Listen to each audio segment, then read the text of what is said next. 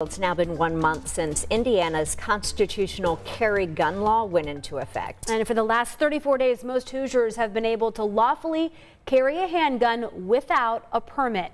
Our Samantha Johnson talked to the superintendent of Indiana State Police when this law took effect, and she joins us this morning with what ISP is saying now. Good morning, Samantha. Yeah, good morning, guys. So Superintendent Doug Carter told me the process to get those applications is the same, right? That process to get the permit is still free. You can still start that application online.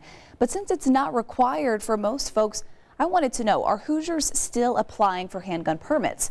Take a look at your screen here. These are the latest numbers from Indiana State Police of approved permit applications. So from January through the end of June, State Police approved close to 35,000 permits, which is about 5,800 a month. In July, though, that number dropped to just over 2,800 permits. Officials with ISP tell me it's common for troopers to come across drivers with handguns in their vehicles, and it's helpful for law enforcement to know right away if that driver has a valid permit. That's something they can see when they run your driver's license information.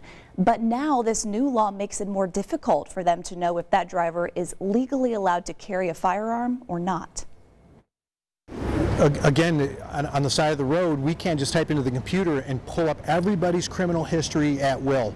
That is a legally that is legally protected information. So please understand that. And again, we're still going to try to, to work within the confines of the system and the law to see if we can make something work for, for those of us that are, that are working on the road. And here's something else to keep in mind. Even if you are lawfully carrying a handgun, there are still places where you cannot carry. And that list includes inside airports and aircrafts, also riverboat casinos and schools. And of course, with more Hoosiers passing through school properties this time of year, we have a link to the full Indiana law on our website right now with everything you need to know, especially if you have a gun in your vehicle on school property. ISP also has a great Q&A section with all kinds of information. We've also got that linked for you at WTHR.com.